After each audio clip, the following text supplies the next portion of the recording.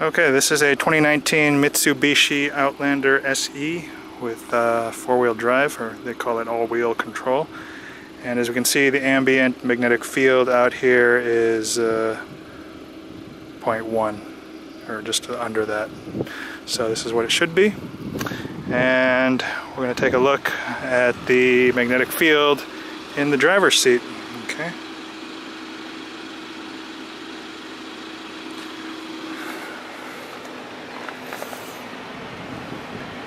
Okay, so at the seat level, we're looking at 0.3. This is very good, very low. Up by the head, the headrest, also, um, actually it's a little bit lower, 0.15. Okay. By the side of the seat, it goes up um, to 0.75. Um, down here, so I did notice there's a hot spot on the left hand side there. As you can see, it's getting close to 8. And then we put it on the floor. It's at 4.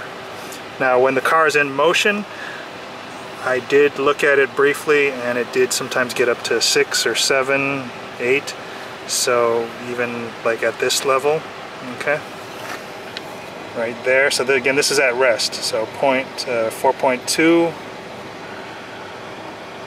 yeah, getting close to 10 there on the sidebar. So yeah, there's definitely a, a left side hotspot in this vehicle. So looking at about three there. Now I did have the G-iron here, so let me move that out of the way. That would not have affected those readings much. Um, actually it's 3.67 So it looks like the G-iron actually did reflect back some of the magnetic field and it, it did increase it on the left hand side a little bit from what I can tell. But we're still looking at a left side hotspot of 4 to 10. Now when we look over here, 1.6, okay, 1.3. On the foot pedal, two and a half. On the steering column, looking at about 0.9.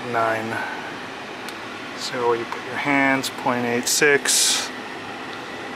Okay, console, 0.5. So yeah, so it's definitely a left side imbalance. Um, yeah. Now, I have smaller pieces of G-iron, but let me just see what would happen if we did that. And you can see with the G-iron there it actually went down to 2.1